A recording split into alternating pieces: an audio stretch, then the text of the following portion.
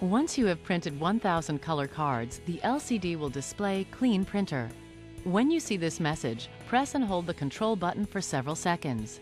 If there is a card inside the printer, it will automatically be ejected and the message will change to Remove Ribbon, then close lid. After you have removed the ribbon cartridge and closed the lid, the LCD will display Empty Feeder and Close Cover. Now you should open the card feeder cover, remove all of the cards, and close the cover.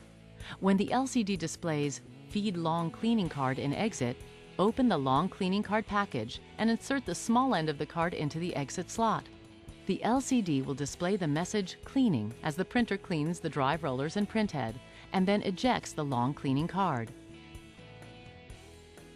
When the LCD screen displays Insert Feeder Cleaning Card, open the card feeder cover and pull back the blue card guide. Then insert the small T-shaped cleaning card into the slot in the feeder and close the cover. Once the printer processes the cleaning card, the LCD will display Remove Feeder Cleaning Card. Then, open the feeder cover, push back the card guide, and remove the cleaning card.